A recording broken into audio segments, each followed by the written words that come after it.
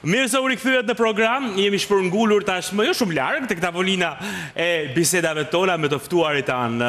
Kemi një hall të madh. Një hall i cili mbartet nga për mua të paktën nga një kohë përpara verës, po ja lë gjithmonë verës. Okej, dhe verët po, dhe verat e mëparshme. Po, janë të akumuluara. Po, po, po, po. Çar të hamë si të vimë në formë e si t'ia bëjmë tani që abuzuam. Jo se më e forta është që neve i marrim të ftuarit edhe i themi ore si t'ia bëjmë që të mos hamë shumë gjatë pushimeve ça janë disa këshilla që të mos abuzojmë shumë i bëjmë ne themi sa mirë do e bëjmë shkojmë për pushime i harrojmë. Dhe pastaj vim në pikën që i ftojmë prap dhe këta qofshin që vijnë, domethënë. Për të na mësuar tani se abuzuam që abuzuam si të rikthehemi sërish në formë. Me shumë kënaqësi i prezantojmë edhe për ju, Jurida Basha dietologe mirë se erdhe e dashur. Mirë se ju gjej në këtë sezon të ri, suksese. Faleminderit shumë dhe Armando Hidi, personal trainer mirë se erdhe. Mirë se erdhët. Jurida është tipike e asaj që në sezonin e kaluar na tha mos hani, mos bëni kështu, na dha këshilla, tashi thotë Tashi doni një dru të mirë. E dua. E dua e pranoj, e pranoj po ja. E mbyllim, mbaroi diskutimi. Tani sa më doni një dru të mirë dhe kaq. Unë e thashë po kam frikë se më rreh. E duam, që e duam një dru të mirë, e duam, po çfarë t'i bëjmë që është ajo? Po megjithatë fjala zë më shumë vend dhe unë do them nuk ka problem. Hë pra. E rëndësishme është që të na dëgjoni tani që mos vim prapë për dhjetor, se. Okej. Jo, po do, edhe për dhjetor po vim dhe një herë. Pastaj, kështu që është, me sa duket natyra njerëzore kështu është. Po ta nisim një çik si ju kaluan pushimet juve. E nisim nga Jurida pastaj. U kënaqëm, po sikur t'i kisha edhe një javë, një javë tjetër, s'do ishte keq me thënë drejtën. Po që u kënaqëm. Nuk abuzuam. Se nuk i dilja dot përpara Juridës pastaj ça t'i bëja. Po të abuzoje edhe ti pastaj nuk e di domethënë si del ti ke jetë. Jo, realisht pavarësisht gjithë të tjerave, pushimet janë një fazë e vitit që duhen shijuar. Kuptohet, duam apo nuk duam, dietolog, avokat, ministër, çfarëdo qoftë, ti je njeri në fund ditës dhe duhet ta shijosh me familjen dhe bie pre e tundimeve. Sigurisht, edhe unë jam njeri në fund ditës dhe sigurisht që e kam tepruar ndoshta Me një gotë verë më shumë, ndoshta me një ëmbëlsi më shumë, me ndonjë një ushqim tjetër më shumë që gjatë ditëve nuk e ham. Gjithë problemi është çfarë do bëjmë në rutinën tonë të përditshme mhm. dhe si mund të rikthehemi aktivitetit tonë ditor qoftë atij intelektual pra në punë, por edhe po. atij fizik që është super i rëndësishëm. Se në fund ditës nuk është çështja vetëm tek pesha, por tek se si funksionon organizmi në tërësi. Kështu që bëmë ç'bëmë, i vëmë një kryq, ikën, kaluan, tani të nxjerrim rregullat për sezonin e ri edhe për të pasur një shëndet më të mirë. Ehm Armando, ty si të vajtën pushimet? Mua mirë, pushova më shumë seç duhet, tani më tepër po rikthehemi. Por duke nisur nga kjo që po flasim, nuk duhen marrë për shembull neve, sepse ne me vërtet pimë nga një gotë, edhe më thonë për shembull, o profesor ti po pi birrë kështu, por ne dimë ta rregullojmë shumë shpejt, domethënë abuzojmë një ditë, ditën tjetër I bëjmë ato rekuperimet edhe bëjmë një balancë që mos të mos të shëndoshemi apo të ashtu, kështu që problemi është tek njerëzit që nisin abuzimin edhe s'din ta ndalojnë, vazhdon abuzimi kështu gjatë. Nuk dinë edhe ta rregullojnë në kuptimin që abuzojnë. Po mirë si duhet ta rregullojnë për shembull, meqë e nise këtë, e nisim këtu. Ta zëm një person bazë jo personal trainer, jo nutricionist ose dietolog, pra ekspert, po një person i cili kujdeset për veten e vet. Dhe normalisht do ta ngacmojë ndonjë gotë verë. Çfarë të bëjë ditën mbrapa? Të pijë ujë. Përveç asaj, pra, është me është personale. Për shembull, unë personalisht të nesërmen bëj fasting, domethënë mundohem që të haj sa më pastër edhe sa më rrallë, kuptimin që ta balancoj. Kështu funksionon për mua.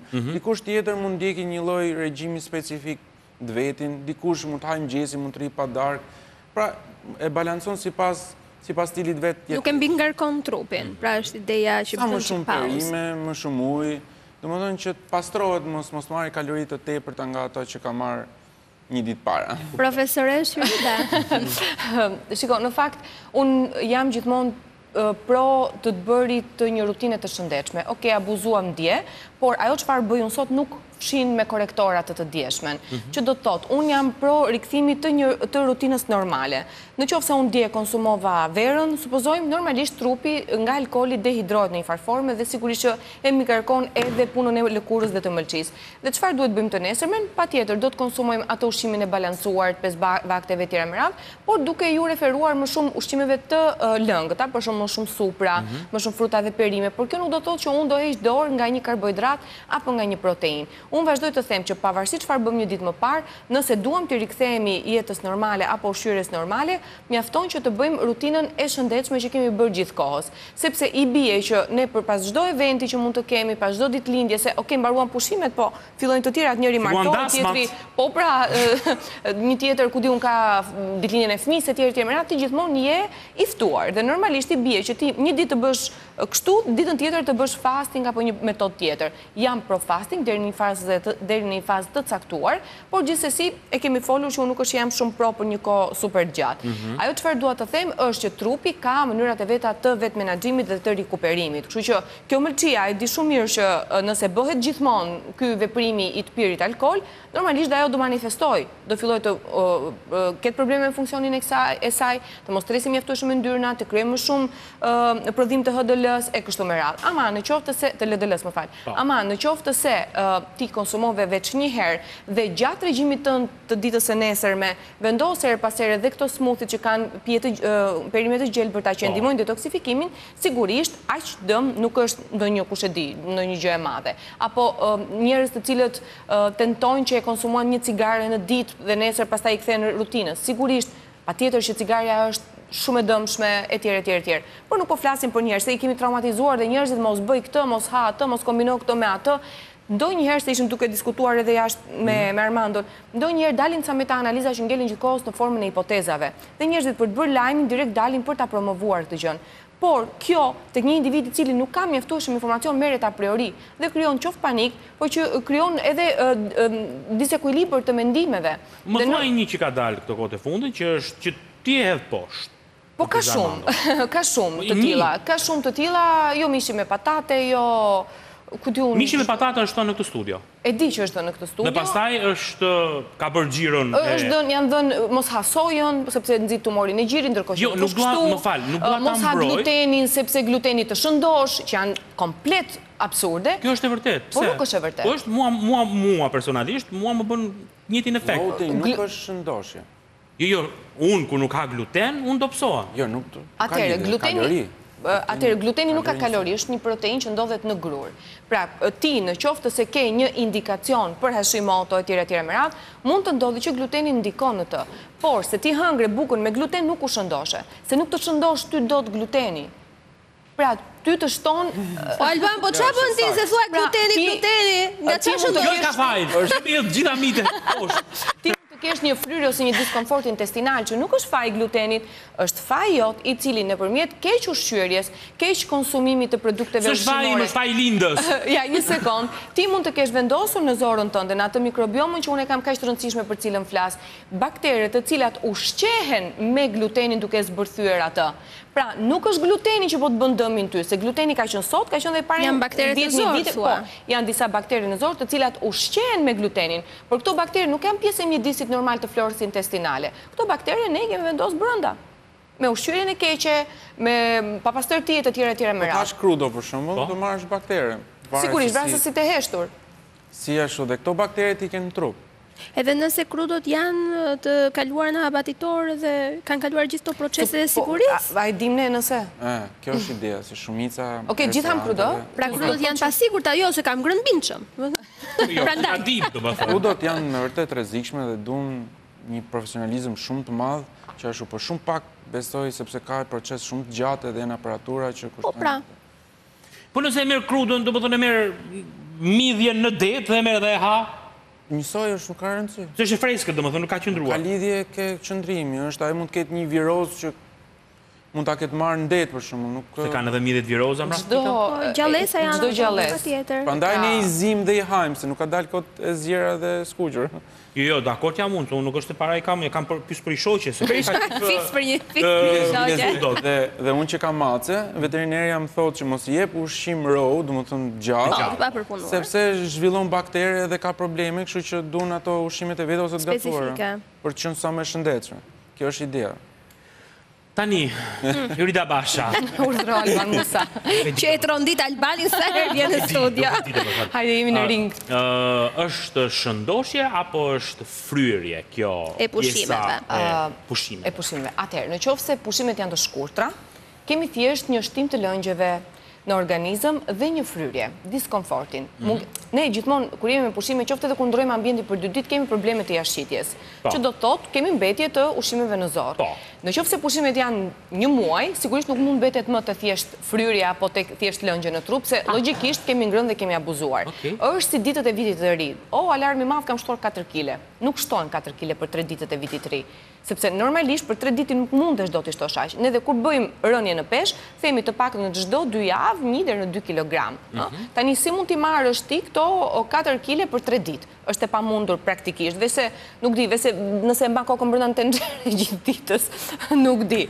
Por, nëse flasim për pushime të shkurtra rreth një, dy javë, maksimumi që ti mund të kesh marrë është një deri në dy kilogramë që kjo përsëri mbetet ose sasi e tepërt e lëngjeve në organizëm, se ke pirë alkool, ke ngrënë ushqime të kripura, e tjera me radhë që e kanë tërhequr ujin në organizëm, mungesë aktivitetit fizik, sedentarizmi, do thuash ti po ne bëjmë not e kështu e ashtu, pra, regjimi nuk është i mirëfilltë, gjumi nuk është i mirëfilltë, nëse vë re unë sa herë që flas për dietë të balancuar, nuk e harroj kurrë përmendjen e gjumit, sepse është shumë i rëndësishëm për të balancuar hormonet, është shumë i rëndësishëm cikli gjumë-zgjim me ciklin uri-ngopje. Dhe në momentin që ti e bën, e çekuilibron këtë balancë, Sigurisht edhe pjesa tjetër do të çekuilibrohet. Dhe të gjitha këto së bashku krijojnë atë ndryshimin e peshës. Ë, ka individë të tjerë që gjatë pushimeve dobësohen, unë jam një ndër ta. Domethënë, ë, Po, ju, temperaturat... ju jeni njerëzit që urrej më shumë në këtë botë, po gjithsesi, Shiko, ka një fije shumë të hollë ndërmjet uri- urrejtjes dhe e di, dashurisë. e Më vërtetë. fal, edhe Për sot- momentin është urrejtje. Një sekond, përse dobësohesh ti? Se Ha, ti pra, ndonjë ç'është gjë kjo? më tepër e, e Po, konsumon gjatë sepse pushimeve, unë nuk vazhdon kam ha mjaftueshëm shëndetshëm, po? uri në temperatura të larta. Po flasin individë, e heqim një video dietologe, po flasin syri dhe person. Madje dje isha duke bërë një kontrol të fotove dhe kam gjetur një foto ku kam qënë fmi, thash, o Zoti i madh, si vazhdoj e ekzistoj, domethënë, një, një, e ke parasysh ata fmi në Somali? Një skini pece. Po, që do të thotë, unë gjatë gjithë kohës, dhe isha, domethënë, në plazh, në verë gjithë kohës unë nuk kam pasur oreks, është vetë individi, nuk ka lidhje, e? Ça të them tani? Okej, mund ta kem të... Po, ik fare, se s'nuk... Ishte një periudhë që isha e shëndoshë. Po, ç'është kjo? Kjo është, kjo është e padrejtë një herë e para. Nejse gjithsesi, Ka njerëz me fat në këtë botë, më me fat se sa ti e unë. Është çështje metabolizmi, e kuptojmë, kështu që gjithsesi prap kujdesi duhet bërë, sepse dhe kjo që unë kam nuk është gjë pozitive. Dhe unë këtë përpiqem ta menaxhoj. Prit se do flasim një temë tjetër për atë, se edhe kjo është problem vërtet, e ka shumë njerëz që e kanë problem. Armando, tani njerëzit shkojnë me vrap në palestra, tani fillon.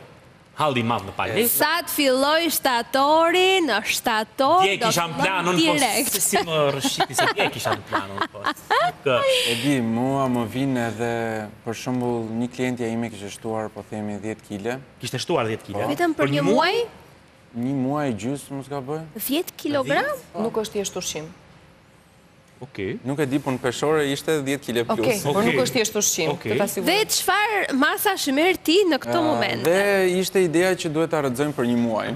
Për një muaj? 10 kile për një muaj? Po. Po e bëshme? Për ashtu po. sa i mori për një muaj, mundet t'i rrëzojmë për një muaj? Tani... Këtë po i futi Ozempik se... Mundet që t'i rrëzojë, mundet që edhe mos t'i rrëzojë, por ideja është që nuk duhet të futet me këtë idenë që duhet t'i rrëzojë, sepse shkon te gjërat drastike pastaj, kupton, rrinë pa ngrënë, bëjnë fasting shumë gjatë. Edhe stresohet shumë kam përshtypjen, edhe normalisht nuk favorizon. Edhe stresohet edhe i ngadalëson ose duan të bëjnë shumë ushtrime, shumë orë. Dhe kjo të streson edhe nuk i bën as mirë trupit. Vërtet.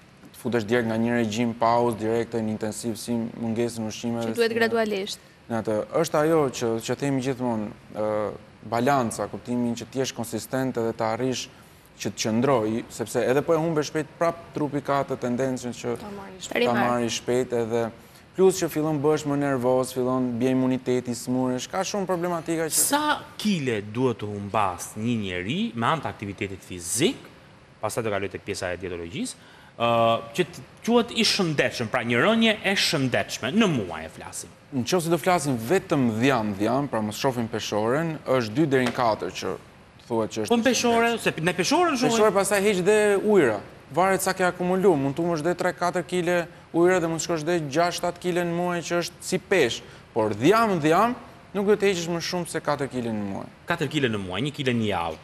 Po, jemi dakord, por duhet të kuptojmë një gjë, sepse ne E është e tha shumë bukur, nuk duhet të shikojmë peshore. Ne kemi dobësim dhe humbje peshë e e paralelizojmë si fjalë, pra e ekuivalentojmë. Nuk është kështu. Humbje në peshë, ti mund të biesh nga pesëdhjetë e tetë shkove pesëdhjetë e katër. Tani këto katër kilogram janë humbje sasiore apo cilësore? Që do të thotë, nëse shohim peshore, jo, ka shumë rëndësi, sepse jo, se janë ujëra dhe ti nëse ti humbet muskul në këtë rast, ti mund të humbasësh në kile, por nuk humbet në perimetër. Sepse masa e dhjamit, vëllimi që zë dhjami, një kilogram dhjam, zë vëllim më të madh sesa një kilogram muskul. Në momentin që ti humbet masë dhjami, ke atë që quhet është shkurruar trupi. Pre, pse? Sepse masa e dhjamit është larguar, është forcuar masa muskulare sepse është bashkëshoqëruar dieta me regjim ushqimor. Dhe këtë bëjmë gabim, që shkojmë palestër dhe heqim ushqimin, pra bëjmë kat të kalorive. Ne bëjmë dieta hipokalorike, ndërkohë që shkojmë palestër. Por është gabim, sepse në momentin që ti shkon në palestër, je duke stërvitur muskulin, por a je duke e ushqyer muskulin? Muskuli ka nevojë të ushqehet. Në momentin që ti nuk e ushqen muskulin, mos prit rezultate. Përkundrazi do krijosh probleme që lidhen me muskulaturën, sepse ti nuk po i jep atij mjaftueshëm mundësi për të prodhuar energji, mjaftueshëm energji për të ruajtur depon kryesore të energjisë që është glikogjeni në muskul dhe në mëlçi, kështu që gjithë kjo mbetet edhe pak faj instruktorëve, që ndonjëherë Japin regjime të gabuara. Unë më ikën truri kur shikoj ende dietat me pulë dhe pilaf. Sinqerisht. Pse ça kanë dietat me pulë dhe pilaf? Jo, nëse unë shoh një person që bën palestër. Proteinën ti mund ta marrësh vetëm në këtë formë. Madje ka ende instruktorë që më kthejnë mbrapsht regjime duke thënë ku është proteina në këtë rast, sepse nuk shohin mish. Proteina nuk formohet vetëm nga mishi. Pra, nuk e kam me Armandon jo, apo me një individ specifik. Unë jam kundra vetë për këto gjëra. E di shumë mirë, ndaj dhe jam lirëshëm duke folur. Po dhe nëse, domethënë, kjo është e jo, jo, vërteta. E vetmja gjë që do shtoja në këtë pjesë është që unë shpeshherë, domethënë, edhe pse s'mund t'jap regjime, si po. t'jap dieta, thjesht i këshilloj se çfarë... Këshillim, po, rekomandim është tjetër gjë, po. Por, përfundimi dalim prapë tek pula e pilafi, sepse ne jemi një shoqëri që Gatimin nuk e kemi më, brezat e ri nuk e kanë më fare të mësuar dhe nuk dinë gatuajnë dhe hajnë gjëra të thjeshta. Shumë gra që unë stërvis për shembull ose edhe online nuk kanë kohë të gatuajnë, kupton? Edhe duan, unë i jap regjime shumë të mira ose i rekomandoj për ushqime shumë të mira, po thonë e para herë i krijohet një buxhet shumë i shtrenjtë, Po, se dhe kushtojnë, me thënë të drejtën. Nuk i blejnë dot. Pjesa tjetër është që nuk gatujnë dot, nuk kanë kohë, kanë fëmijën dhe këto dhe më e thjeshta, më e mira për të hëngër është pilafi me pulë tradicionale. Kurse jo, do dalë dhe tek ajo. Kurse shumica e trajnerve vijnë nga background bodybuilding. Dhe bodybuilding është pjesa që duhet hajnë karbohidrat dhe proteinë, dhe ato hajnë 3-4 vakte oriz me, kështu e kanë ndërtu, nuk e di pse, po, po kështu e kanë ndërtu. Dhe të bardha vezë. Sepse ti e ke dietën shumë të njëanshme, po, ti nuk po furnizohesh mjaftueshëm me minerale dhe vitamina që janë edhe më të rëndësishme. Atëherë qenka më lirë të marrë suplemente? Po ato. Se këtë do thosha, gjithë ideja është që ne e quajmë të shtrenjtë të blejmë një kile bollgur që ti tridhjetë gram të bëhet gjashtëdhjetë gram kur kur zjen, Po jo bollgur, po ka ca produkte tani jo mjedra, jo kështu gjërash të Po mos cilat merr kushtojnë mjedra ti pak. merr manaferra sh- shqiptare. Ku ke ferra në Tiranë me Është që më të e gjesh? Po vështirë jo jo ti ka, ne thjesht gjejmë justifikim, ta siguroj unë këtë gjënë. Pra unë e shikoj dhe në komentet që bëjnë, po ku t'i gjejmë ne këto fara? Po mirë mo, kur shkon blen ilaçe ti ku i gjen lekët? Kur shkon blen këto proteina ti për muskujt ku i gjen lekët? Pra, ne thjesht përtojmë të edukojmë dhe njerëzit përtojnë të na dëgjojnë. Dhe çfarë bëjnë? Të parën gjë gjykojnë. Në momentin që ti gjykon ti nuk e kupton dot çfarë jemi duke thënë. Tani ti që nga vetë llogjika si mundet të jesh i mirëushqyer kur ha tre herë në ditë pulë me pilaf, më fal! Ça të shijon njëherë? I shtojmë ca perime dhe ja. Por është më e lehtë për të mbajtur kaloritë, sepse di që Po nuk është çështje kalorish, pra ky është gabimi. Po pra, po bodybuilding është vetëm kalori in, kalori out. Kalori është dhe suflaqa. Unë e kam bërë, unë e kam bërë vetë këtë. Po s'është kështu. Unë e kam bërë vetë. Jo, unë jam dakord që s'është, po kështu funksionon. Mbajtjen e kalorive dhe është shumë e vërtetë ajo që thotë Armando, që kur ha orizin me fileto pule ose sallatën me fileto pule, E ke shumë më kollaj të rrish në nivelin e kalorive që ti duhet djegësh në ditë dhe prandaj t'i llogarit i bie shkurt praktik. Ja unë e kapa si klientat. Është shumë e thjeshtë, është shumë më e thjeshtë kjo. Se është shumë më e thjeshtë për ty. Po pra, po, po. Por logjikisht trupi jot nuk funksionon kështu. Nuk mund të funksionojë vetëm në bazë të kalorive. Funksionon në bazë të ruajtjes së metabolizmit bazal, jam shumë dakord, duhet ruajtur, por ama funksionalitetet e organizmit nuk varen vetëm nga kaloria. Nuk varen. Janë mikrot më të rëndësishme se thjesht makro. Janë super më të rëndësishme. Ti mund të marrësh një kup brokoli që është tridhjetë kalori dhe ke magnez mjaftueshëm për të prodhuar energji. Ti mund të hash një suflaqe që mund të jetë tetëqind kalori dhe ti je kalori bosh. Kalori po flasim. Po, se s'ke vlera ushqimore tek ajo që konsumon. Jo, po flasim për kalori. Prandaj them që njerëzit e kanë të thjeshtë të pranojnë një informacion që është super i thjeshtë për ata për t'u bërë. Por aman nuk funksionon kështu. Tani Rita, shumë, shumë u stresuam edhe nga kjo bisedë, se prapë nuk dimë se çfarë të hamë. Bëj aktivitet fizik, largohet stresi, ulim kortizolin. Ja, ok, kjo është, kjo është kryesorja. Detox, se fillojnë detokset tani. Oh, detoksi. Dieta detoks, derisa të dalin ndonjë, ndonjë teori tjetër e bazuar, unë do vazhdoj të them që nuk ka. Futu në PubMed, futu në studime shkencore, dietë detoks nuk ka. Detoks bën një që është alkoolizuar, që është droguar, që punon në miniera, i duhet të detoksifikojë mëlçinë. Trupi jonë ka veshkat, ka zorrët, ka mëlçitë, ka lëkurën, për të bërë detoks njëzet e katër në njëzet e katër. Po, ekziston brenda regjimit ushqimor, ushqime të cilat përmbajnë sasi më të larta të antioksidantëve, që plotësojnë dhe përshpejtojnë procesin e këtyre organeve. Por pi lëngje gjithë ditën ti, me një mijë e dyqind kalori, kur ti ke nevojën minimale bazale një mijë e pesëqind, kjo futet në dieta hipokalorike, që jo vetëm që s'të ndihmon, por të shkatërron. Nuk mundesh dot. Okej. Të të jetosh gjatë me të, në kuptimin të të jesh... Jo gjatë, ajo bëhet një herë në në gjashtë muaj për shembull. Si bëhet një herë në gjashtë muaj? Okej, jam shumë dakord, të smuthin... Unë e kam, unë e kam pjesë të të rutinës time. Një herë në gjashtë muaj sa për t'i dhënë një reset trupit, ë? Për t'i dhënë edhe një pushim trupit, për të si si puna e kompjuterit që e fik edhe bën një restart dhe je okej. Kisha një paciente dy vjet thoshte bëj detox. Si dy vjet? Dy vjet, dy vjet. Çdo ditë bënte detox. Mirë, kjo është pastaj çmenduri. Pastaj kur ha tha ha të rëndshëm, po çka ku thash, po ku është po ça ke zgjidh? Pra defekimi ishte Tmerr. Probleme të tjera me peshën kishte, thashë ça i pe të, se ok, unë bëj diçka dy vjet edhe nëse nuk është e rekomanduar, ama po i shoh hajër. Po në momentin që bëj dy vjet të njëjtën gjë dhe nuk shoh asnjë rezultat, këtë nuk kuptoj dot. Të shpjegoj pak këtë pjesën e detoksit se. Shpejt se do na japësh ushtrime pastaj. Ok. Detoksi doli nga disa persona që e rekomandonin për ato që kishin probleme, si akne, kishin insulinë rezistente dhe e promovonin, por siç është rrjeti social që merret shumë shkurtër dhe pastaj interpretohet në gjitha këto dhe pastaj duke e pa që njerëzit ndiheshin mirë shfryheshin nga ato fryrjet, sepse pastroheshin normalisht dhe filluan ta komercializojnë. Po, po. Dhe e futën si, domethënë që humb kile shpejt, sepse shkarkon ujërat, bën diplitit nga glikogjeni, Karbohidrati siç dihet mban ujë në organizëm si dhe kripa dhe duke hequr gjitha këto shfryhesh dhe normalisht pa që kishte rezultat dhe shiste dhe normalisht e futën e bën si si dietë. Por detoksi është thjesht për ato persona që kanë problematika dhe në qoftë se do fillosh një regjim të ri mund ta bësh dy tre ditë thjesht për të shkarku për t'u ndjerë më mirë për të dhënë çik më Për të ndihmuar edhe zorrën që të mund të krijojë. Kjo është e gjithë. Detox me me me mish, me pilaf, me oriz nuk ka kështu gjërash, domethënë jo. Mund t'i bësh në blender. Jo, por ka detox me supë me jeshillëqe po, apo jo, jo, jo me perime edhe me pulë, edhe peshk. Faleminderit Jurita. Kënaqësi. Faleminderit shumë. Ty s'po themi faleminderit se jemi pas pak prapë bashkë, kështu që rikthehem, rikthehem. Vishni streçet gati për ushtrime. Direkt.